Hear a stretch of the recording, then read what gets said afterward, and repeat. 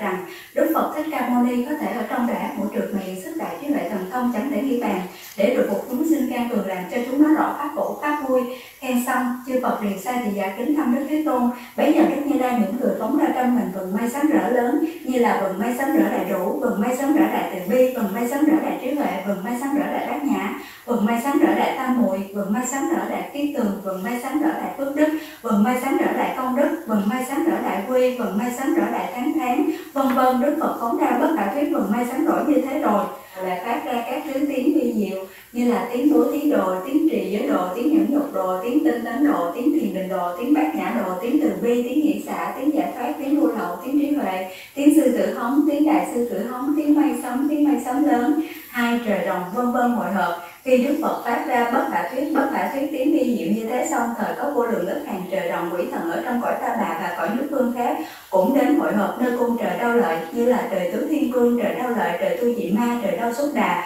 trời hóa lạc, trời hóa tự tại, trời phạm chúng, trời phạm phụ, trời đại phạm, trời tiểu quan, trời vô lượng quan, trời quan âm, trời tiểu tịnh, trời vô lượng tịnh, trời biến tịnh, trời bước sanh trời bước ái, trời quảng quả, trời nghiêm sức, trời vô lượng nghiêm sức, trời nghiêm quốc trời nghiêm sức quả thiệt, trời vô tưởng, trời vô phiền trời vô nhiệt, trời thiện kiến, trời thiện hiện trời sắc cố cánh, trời ma hay thủ la cho đến trời phi tưởng, phi phi tưởng xứ. Tất cả thiên chúng, long chúng cùng các chúng quỷ thần đều đến hội họp. Lại có những vị thần ở cõi ta bà cùng cõi nước phương khác như thần thần biển, thần sông, thần rạch, thần cây, thần núi, thần đất, thần sông trầm thần lúa mạ, thần thần đêm thần hư không thần trên trời thần chủ hoa thần cây cỏ vân vân các vị thần như thế đều đến hội họp lại có những đại quỷ vương ở cõi ta bà cùng cõi nước phương khác như ác một quỷ vương đạm huyết quỷ vương đạm tinh khí quỷ vương đạm thai nõn quỷ vương hành bệnh quỷ vương nhiếp độc quỷ vương tự tâm quỷ vương phước lợi quỷ vương đại ác kính quỷ vương vân vân các quỷ vương như thế đều đến hội họp ba đức phật phát khởi bây giờ đức thích ca mâu ni phật bảo ngài văn thù sư lợi pháp vương tử đại bồ tát rằng ông xem coi tất cả chư phật, bồ tát và trời đồng quỷ thần đó ở trong thế giới này cùng thế giới khác, ở trong quốc độ này cùng quốc độ khác, nay đều đến hội họp tại cung trời đau lợi như thế. Ông có biết số bao nhiêu chăng? Ngài ban thù sư lợi bạch Phật rằng, bạch Đức Thế Tôn, nếu dùng thần lực của con để tính đến trong hình ký cũng không biết là số bao nhiêu. Đức Phật bảo Ngài Văn Thù Sư lại rằng, đến ta dùng Phật nhãn xem hãy còn không đếm xiết số thánh thần này đều của Ngài Địa Tạng Bồ Tát từ thổ kiếp lâu xa đến nay hoặc đã độ đương độ, chưa độ hoặc đã thành tựu, đương thành tựu, chưa thành tựu. Ngài Văn Thù Sư lại bạch Đức Phật rằng, từ thổi lâu xa về trước, con đã tu căn lành, chứng đẳng trí vô ngại. Nghe lời Đức Phật nói đó, thời tin nhận liền, còn hàng tiểu quả thanh văn trời đồng tám bộ chúng và những chúng sinh trong đời sau giàu nghe lời thành thật của Như Lai, nhân chắc là sanh lòng nghi ngờ, dầu cho có lệ vân đi nữa cũng chưa khỏi huệ phán của mong đức thế tôn nói rõ nhân địa của ngài địa tạng bồ tát ngài tu hành gì lập nguyện gì mà thành tựu được sự không thể nghĩ càng như thế Đức Phật bảo Ngài Văn Thù Sư lại rằng, ví như bao nhiêu cỏ cây lùm rừng lúa mẹ tre lau đá núi bụi bặm trong cõi tam thiên đại thiên, cứ một vật là một sông hàng rồi cứ số khác trong mỗi sông hàng một cột cát là một cõi nước, rồi trong một cõi nước cứ một cột bụi nhỏ là một kiếp, rồi bao nhiêu số bụi nhỏ chứ trong một kiếp đều đem làm kiếp cả. Từ lúc ngài địa tạng bồ tát chứng quả vị thập địa bồ tát đến nay nghìn lần lâu hơn số kiếm tỷ dụ ở trên vốn là những thổ ngài địa tạng bồ tát, còn ở bậc thanh văn và bích chi phật. Này văn thù sư lợi, ai thần tuệ người của bồ tát đó không thể nghĩ bàn đến được. Về đời sau nếu có trang thị nam người thị nữ nào? Nghe danh tự của địa tạng bồ tát, hoặc khen ngợi hoặc chiêm ngưỡng bái lại hoặc xưng danh hiệu hoặc cúng dường. Nhận đến vẻ khắc đắp sơn hình tượng của địa tạng bồ tát, thời người đó sẽ được một trăm lần sanh lên cõi trời đau lợi. Vĩnh viễn chẳng còn bị sao đào vào chúng ác đạo bốn trưởng giả tử phát nguyện này văn thù sư lợi trải qua bất khả thuyết, bất khả thế kiếp lâu xa về trước, tiền thân của ngài địa tạng bồ tát là một vị trưởng giả tử. Lúc đó trong đời có đức phật hiệu là sư tử phấn tấn của túc hoàng hạnh như lai. Trưởng giả tử thấy đức phật tướng mạo tốt đẹp mình phước trang nghiêm mới bạch hỏi đức phật tu hành nguyện gì mà đặng tốt đẹp như thế. Khi ấy đức sư tử phấn tấn của túc hoàng hạnh như lai bảo trưởng giả tử rằng, muốn chứng được thân tướng tốt đẹp này cần phải trải qua trong một thời gian lâu xa, độ thoát tất cả chúng sinh bị khốn khổ. Này này văn thù sư lợi trưởng giả tử nghe xong liền phát nguyện rằng, từ nay đến tổ số chẳng thể kể xiết ở đời sau, tôi vì những chúng sinh tội khổ trong sáu đường mà diễn bày nhiều phương tiện làm cho chúng đó được giải thoát hết cả. Rồi từ thân tôi mới chứng thành Phật đạo. Bởi ở trước Đức Phật sư tử phấn tấn của túc bằng hành Như Lai, ngài lập nguyện đồng đó nên đến nay đã trải qua trăm hình muôn ức vô số bất khả thuyết kiếp mà ngài vẫn còn làm vị Bồ Tát. Năm bà la môn nữ của mẹ lại bỏ bất khả tư nghị vô số kiếp về thuở trước, lúc đó có đức phật ra đời hiệu là giác hoa định tự tại tương như lai. Đức phật ấy thọ đến 400 hình muôn ức vô số kiếp. Trong thời tượng pháp có một người con gái dòng bà la môn. Người này nhiều đời trước bước sau dài, mọi người đều kính nể. Khi đi đứng lúc nằm ngồi, chưa tiên thường theo hộ vệ, bà mẹ của người mê tín tà đạo, thường khinh khi ngôi tam bảo thoải mắt giàu thánh nữ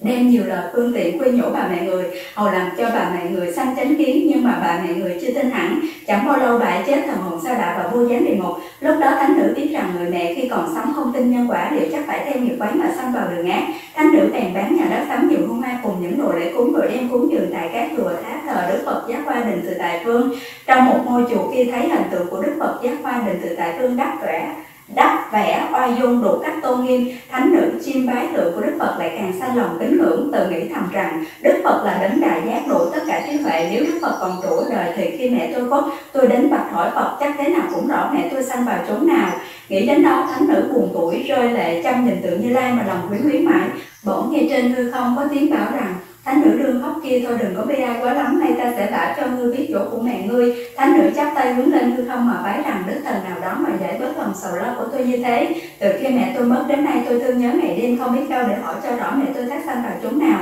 trên hư không lại có tiếng bảo thánh nữ rằng, ta là đức phật quá khứ giác hoa đừng từ tại tương như lai, mà ngươi đương chim bái đó, thấy ngươi thương nhớ mẹ trội hơn thường tình của chúng sinh nên ta đến chỉ bảo. Thánh nữ nghe nói xong liền té xỉu xuống tay chân mình mẩy đều bị tổn thương. Những người đứng bên vội bàn đỡ dậy một lát sau, thánh nữ mới tỉnh lại rồi bạch cùng trên hư không rằng cuối xin đức phật, xót thương bảo hay cho rõ chỗ thác sanh của mẹ con, nay thanh tâm của con sắp chết mất. Đức giác hoa đừng từ tại tương như lai, bảo thánh nữ rằng Cúng dường xong ngươi mau mau trở về nhà rồi ngồi ngay thẳng nghĩ tưởng danh hiệu của ta, thời ngươi sẽ biết chỗ các sanh của mẹ ngươi. Lễ Phật xong thánh nữ liền trở về nhà vì thương nhớ mẹ nên thánh nữ ngồi ngay thẳng niệm danh hiệu của Đức Giác Hoa định tự tại Vương Như Lai. Trải suốt một ngày một đêm, bỗng thấy thân mình đến một bờ biển kia nước trong biển có sôi sùng sục có rất nhiều thú dữ, thân thể toàn bằng sắt bay nhảy trên mặt biển chạy đảo bên này xua đuổi bên kia, thấy những trai cùng gái số nhiều đến nghìn muôn thoạt chìm thoạt nổi trong biển, bị các thú dữ giành nhau, thịt lại thấy quỷ dạ xa hình thù đều lạ lùng, hoặc nhiều tay nhiều mắt nhiều chân nhiều đầu vân vân đang anh dễ ra ngoài miệng bén nhọn dùng gương lùi những người tội gần thú dữ rồi quỷ lại chụp bắt người tội tướng bắt đầu chân người tội lại.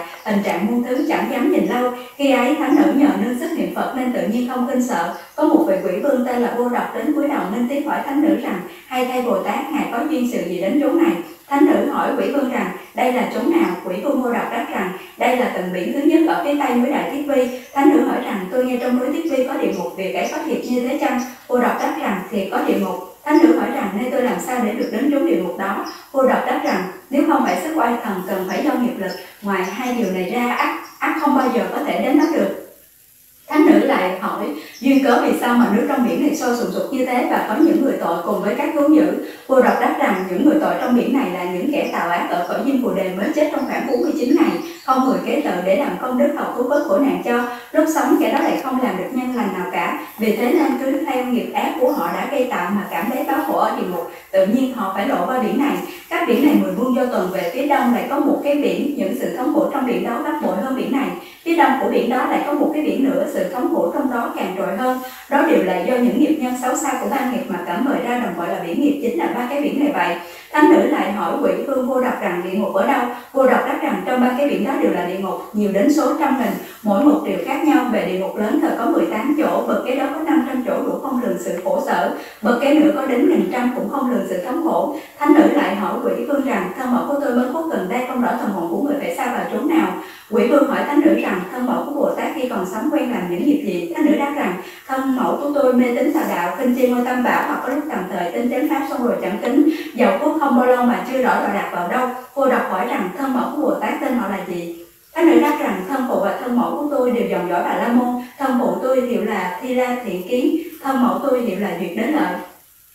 Cô đọc chắp tay thưa thánh nữ rằng Xin thánh nữ hãy trở về, chớ đem lòng thương nhớ buồn đầu quá lắm nữa. Tội nữ duyệt đế là được xa lên đến cõi trời đến nay đã ba ngày rồi. Nghe nói nhiều con gái của người có lòng hiếu thuận vì mẹ mà sắm sửa lễ vật, tu tạo phước lành cúng dường chùa tháp thờ đức giác hoa định từ tại vương như lai. Chẳng phải chỉ riêng thân mẫu của Bồ Tát đặng thoát khỏi địa ngục, mà ngày đó những tội nhân vô gián cũng đều được vui vẻ đồng đẳng các sanh cả. Nói xong, quỷ vương chắp tay chào thánh nữ mà cáo lui. Bấy giờ thánh nữ dùng chim bao chợt tỉnh rõ biết việc đó rồi bèn đối trước tháp tượng của đức giác hoa định từ tại vương như lai, mà phát thệ nguyện động lớn rằng tôi nguyện từ đây nhẫn đến đời vị lai. Những chúng sinh mắc phải tội khổ thì tôi lập ra nhiều phương trước làm cho chúng đó được giải thoát. Đức phật bảo ngài văn thù sư lại rằng, quỷ vương vô độc trước đó nay chính là ông tài thủ bồ tát, còn thánh nữ phải la môn đó nay là địa tạng bồ tát vậy. Kinh Địa Tạng Bồ Tát bổn nguyện phân thân tập hội phẩm thứ hai, một khóa thân cùng quyến thuộc. Lúc đó phân thân Địa Tạng Bồ Tát ở các nơi có địa ngục trăm hình muôn ức trăm hình muôn ức, bất khả tư, bất khả nghị, bất khả lượng, bất khả thuyết vô lượng vô số thế giới đều đến hội họp tại cung trời đau lời do nhờ do nhờ thần lực của Như Lai. Phần thân đó hiệp với những chúng đã được giải thoát ra khỏi chúng nghiệp đạo ở mười phương, cũng đều đông đến số nghìn muôn ức nay do tha đồng cầm hương hoa đến cúng dường Phật. Những chúng cùng đến với phân thân đó hãy đều nhờ địa tạng Bồ Tát giáo hóa làm cho trụ nơi đạo vô thượng chánh đẳng chánh giác, trọn không còn thói chuyển. Những chúng đó từ kiếp lâu xa đến nay ở trong sáu đường chịu những điều khổ sở, không có lúc nào tạm ngừng giúp nhờ lòng từ bi lớn và tài nguyện sâu dày của ngài địa tạng bồ tát nên tất cả đều chứng được đạo quả. Đại chúng đó khi đến cung trời đau lợi, lòng họ vui mừng hớn hở chiêm ngưỡng đức như lai, mắt nhìn mãi không rời. Hai đức như lai an ủi ủy thác bấy giờ, thế tôn giơ tay sắc vàng xoa đẳng của hóa thân địa tạng đại bồ tát trong trăm hình muôn ức, bất khả tư, bất khả nghị bất khả lượng, bất khả thuyết, vô lượng vô số thế giới mà dạy rằng, ta ở trong đời ác mũi được giáo hóa những chúng sinh can cường như thế, làm cho lòng chúng nó đều phục bỏ tà về chánh, nhưng trong 10 phần vẫn còn một hai phần chúng sinh quen theo tánh ác. Muốn độ chúng nó, ta cũng phân hình trăm mất thân lập ra nhiều phương trước. Trong chúng sinh đó, hoặc có người căn tánh sáng nạn như pháp của ta thời liền tính nhận, hoặc có người phải ân cần khuyên bảo mới thành tựu được tiền quả, hoặc có kẻ bị tội nghiệp quá nặng nên chẳng đem lòng tính tin ngưỡng mộ ta phân ra nhiều thân độ thoát những hàng chúng sinh mỗi mỗi sai khác như thế. Hoặc hiện ra thân trai, hoặc hiện ra thân gái, hoặc hiện ra thân trời rồng hoặc hiện ra thân quỷ thần, hoặc hiện ra rừng núi sông hằng ngồi, ao rạch suối, làm lợi cho mọi người để độ độ họ được giải thoát. Hoặc hiện ra thân thiên đế, hoặc hoặc hiện ra thân trời phạm vương, hoặc hiện ra thân vua chuyển luân, hoặc hiện ra thân quốc vương, hoặc hiện ra thân cư sĩ, hoặc hiện ra thân tể phụ, hoặc hiện ra thân các hàng quen thuộc, hoặc hiện ra thân tỳ kheo tỳ kheo ni và tác lưu bà nhi nhẫn đến hiện ra những thân thanh văn, la hán, bích chi phật và bồ tát để hóa độ chúng sinh, chứ chẳng phải chỉ có thân Phật hiện ra trước chúng thôi đâu. Địa tạng, ông xem ta đã trải qua ba số kiếp nhập nhằn độ thoát những chúng sinh can cường như thế.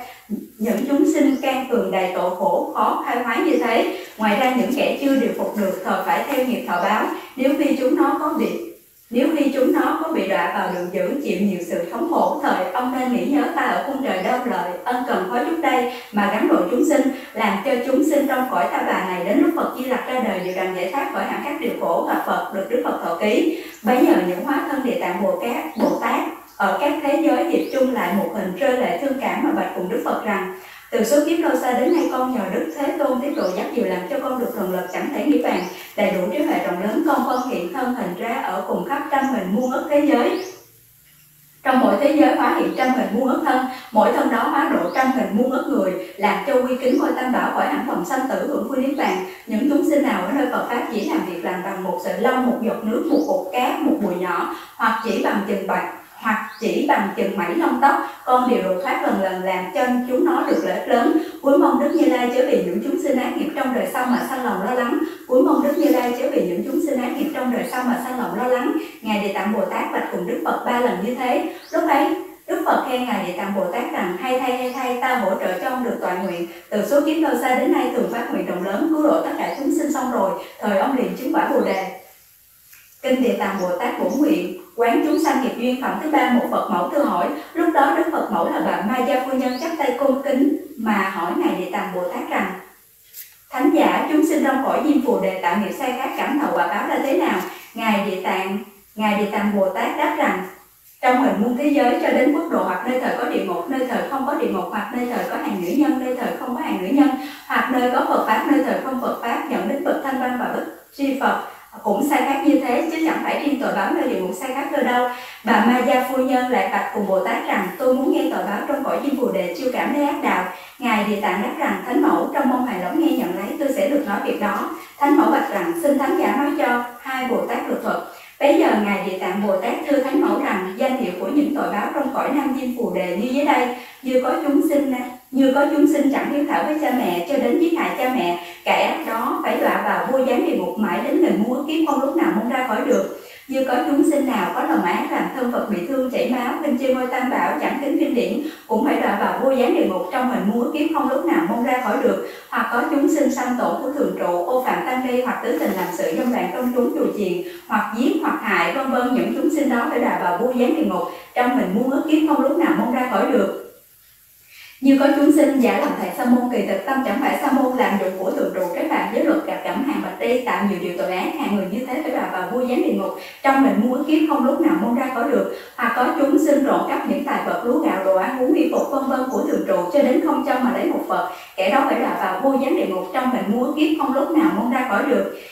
Ngài địa tạng bồ tát thưa rằng, thánh mẫu nếu có chúng sinh nào phạm những tội như trên đó, thời phải là vào địa ngục một cô gián cầu tạm ngừng sự đau khổ chừng khoảng một niệm cũng không được. Bà Ma Gia Phu Nhân lại bạch cùng Địa Tạng Bồ Tát thế nào là cô gián địa ngục. Ngài Địa Tạng Bồ Tát thưa rằng Ngài Địa Tạng Bồ Tát thưa rằng Thánh Mẫu bao nhiêu địa ngục ở trong núi Thiết Vi lớn có 18 chỗ Thứ cái đó có 500 chỗ, danh hiệu điều riêng khác nhau Thứ kế lại có nghìn trăm danh hiệu cũng điều riêng khác nhau. Nói về địa ngục, vua gián đó giáp vào một thành hơn 8 muôn dặm, Thành đó tuần bằng sắt cao đến một muôn dặm. Lửa cháy trên thành không có chỗ nào hở trống Trong một thành đó có các nhà địa ngục liên tiếp nhau đều có danh hiệu sai khác. Riêng có một sở một tên là vua gián Một này châu vi một muôn tám nghìn dặm Từ một cao một nghìn dặm Toàn bằng sắt cả, lửa cháy được hở xuống trên xuống dưới Trên từ một rắn sắt chó sắt phun lửa đuổi nhau chạy bên này sang bên kia. Trong một có giường rộng khắp muôn dặm Một người thọ tội thời tự thấy thân mình nằm đầy chật cả giường. Đến nghìn muôn người thọ tội cũng đều tự thấy thân của mình nằm chật cả trên giường. Đó là do vì tội nghiệp đã tạo ra nó nó cảm bời như thế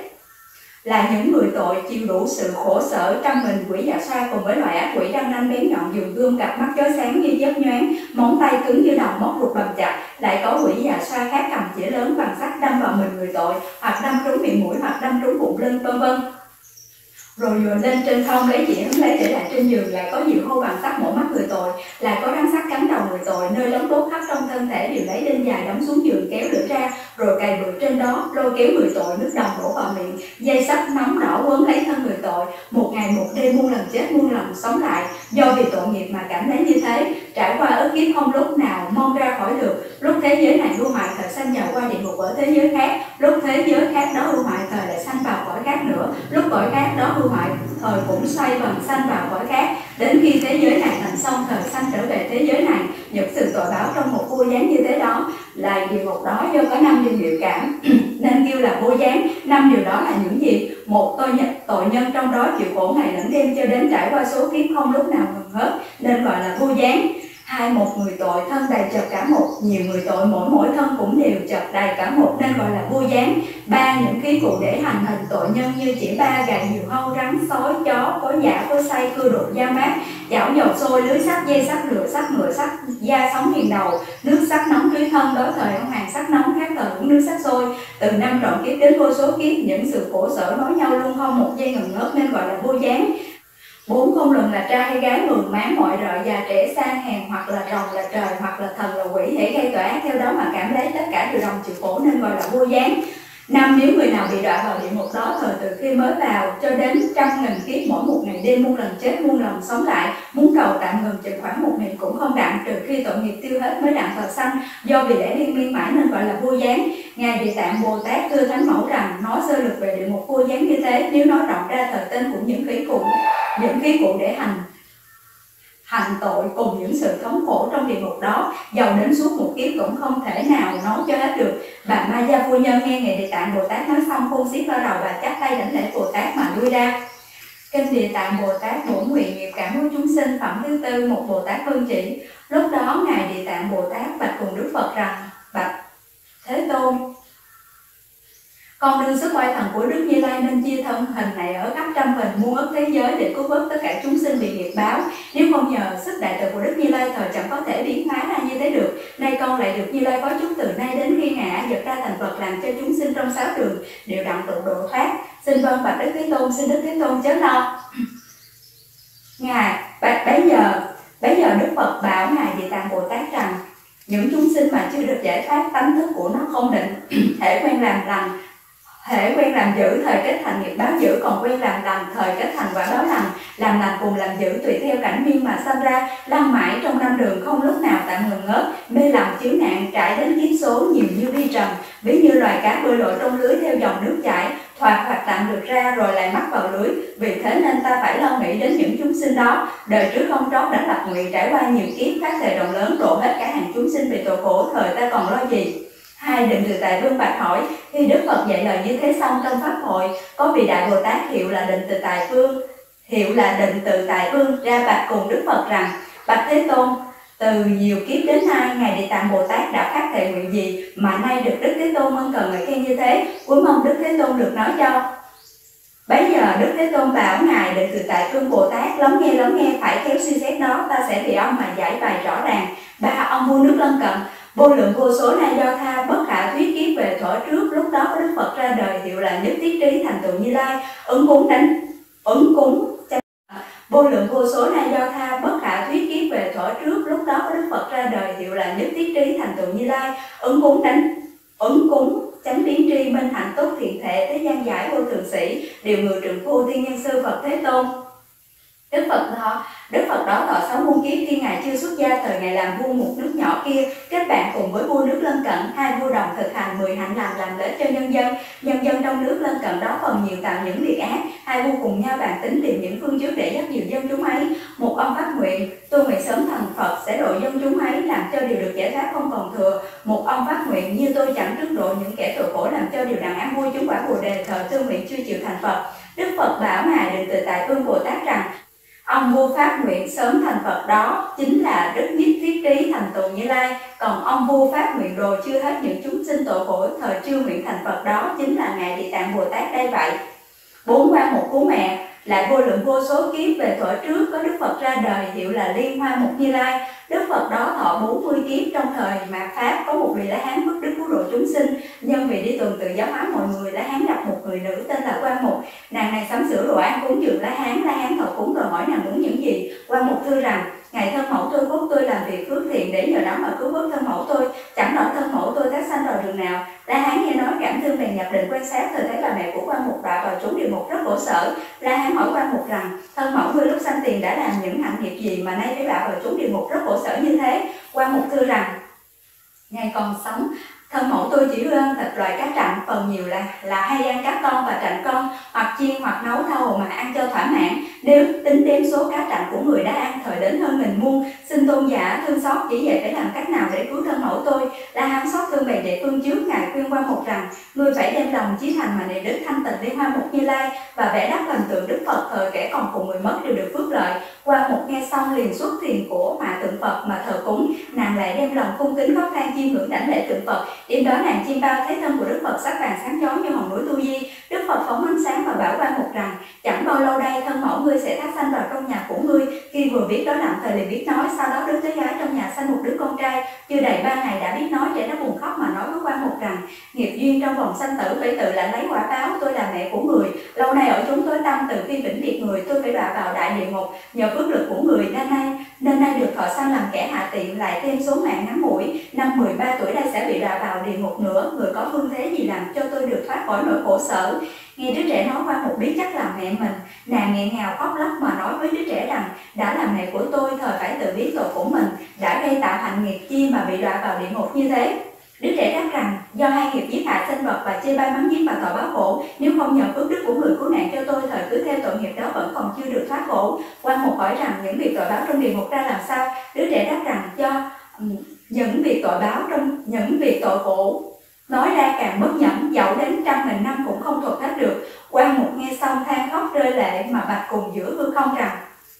nguyện cho thân mẫu tôi khỏi hẳn. À, địa ngục khi mãn 13 tuổi không còn có trọng tội cũng không còn đọa vào ác đạo nữa. Xin chư Phật trong mười phương thương xót chứng minh cho tôi vì mẹ mà vì mẹ mà tôi phát nguyện rộng lớn như vậy. Như thân mẫu tôi khỏi hẳn trốn tam đồ và hạng hạ tiện cùng thân gái cùng kiếp không còn thọ những quả báo xấu đó nữa. Tôi đối trước tượng của đức thanh tịnh liên hoa một như lai mà phát, lời nguyện rằng, từ ngày nay nhẫn về sau, đến trăm hình muôn ức kiếp trong những thế giới nào mà các hàng chúng sinh bị tội khổ nơi địa ngục cùng ba ác đạo, tôi nguyện cứu vớt chúng đó làm cho tất cả đều thoát khỏi chúng ác đạo địa ngục xuất sanh và ngạ quỷ vân vân những kẻ mắc phải tội báo như thế thành phật cả rồi về sau tôi mới thành phật chánh giác qua một phát nguyện đó xong liền liền nghe tiếng của Đức Phật thanh tịnh liên hoa một như lai dạy rằng này quan một nhà ngươi rất có lòng tự mẫn vì mẹ mà phát ra lời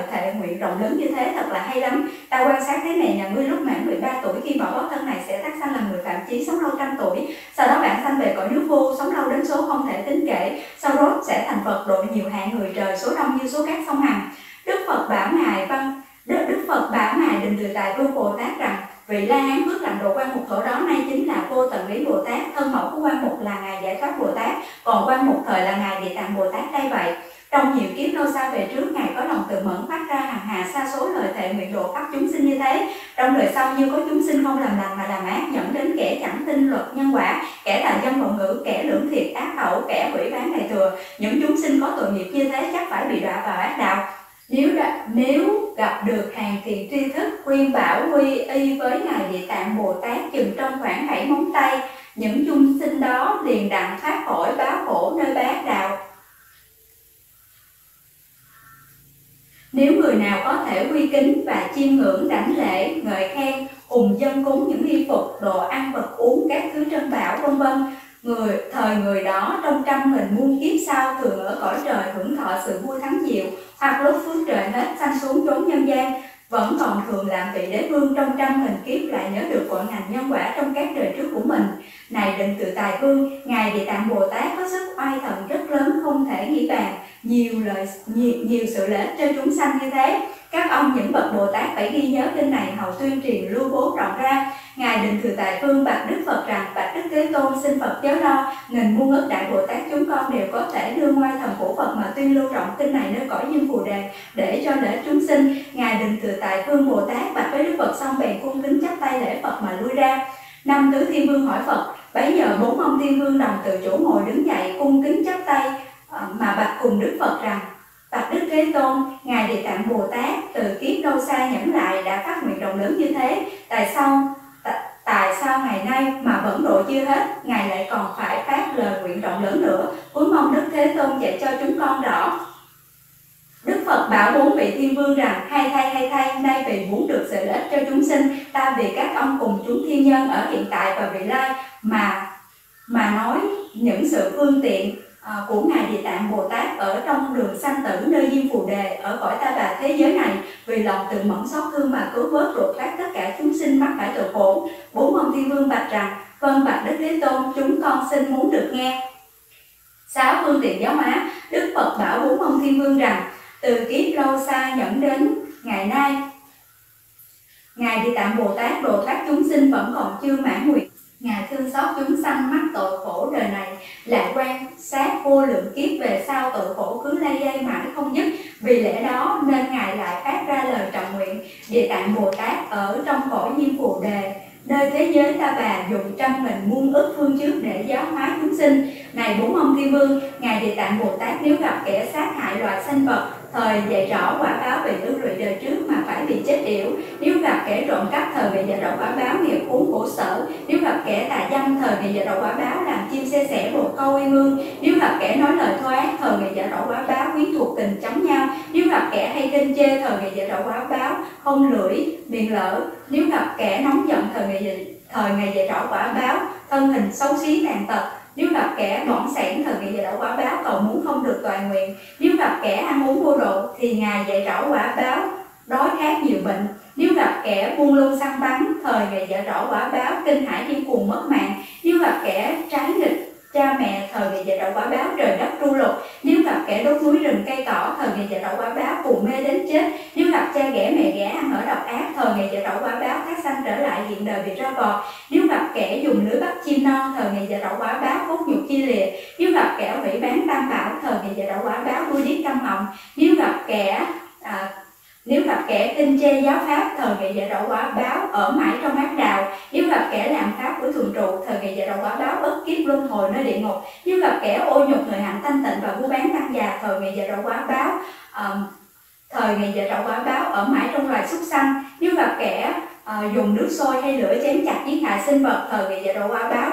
uh, phải luân hồi thường mạng lẫn nhau. Nếu gặp kẻ phá giới phạm trai thời ngày dạy đọc quả báo cầm thú đối khác nếu gặp kẻ phun phung phí phá tổn của cải một cách phi lý thời ngày dạy đọc quả báo tiêu dùng thiếu hụt. Nếu gặp kẻ ta ta kêu nếu gặp kẻ tao ta kêu mạng cống cao thời ngày dạy đầu quả báo hèn hạ bị người sai khiến. Nếu gặp kẻ đâm chọc cây gỗ thời ngày dạy đầu quả báo không lưỡi hay trăm lưỡi. Nếu gặp kẻ tà kính tà kiến mê tín thời ngày dạy đầu quả báo um, thọ sanh vào trốn hẻo lánh những chúng sinh trong phổi diêm phù đề từ nơi thân khẩu ý tạo ác kết quả trăm ngàn muôn sự báo ứng như thế. Nay chỉ nói sơ lược đó thôi. Những nghiệp cảm sai khác của chúng sinh trong chốn diêm phù đề như thế, địa tạng bồ tát dùng trăm nghìn phương trước để giáo hóa đó. Những chúng sinh ấy trước phải chịu lấy các quả báo như thế, sao lại đọa vào địa ngục trải qua nhiều kiếp không lúc nào thoát khỏi? Vì thế, nên các ông là bậc hộ vệ người cùng bảo trợ khỏi nước, chớ để những nghiệp chướng đó nó làm mê hoặc chúng sinh. Bốn ông thiên vương nghe xong rơi lệ than thở, chắp tay lễ phật mà lui ra kinh địa tạng bồ tát bổn nguyện quyển thượng hết bổn nguyện địa tạng đao lợi thiên cung thần thông hiển hóa độ quần mông đời ngũ trượt khó thông chúng sinh can cường ham vui khổ vô cùng nam mô thường trụ thập phương phật nam mô thường trụ thập phương phật nam mô thường trụ thập phương phật Nam mô Đại nguyện Địa Tạng phương Bồ Tát. Nam mô Đại nguyện Địa Tạng phương Bồ Tát. Nam mô Đại nguyện Địa Tạng phương Bồ Tát. Ha ha ha.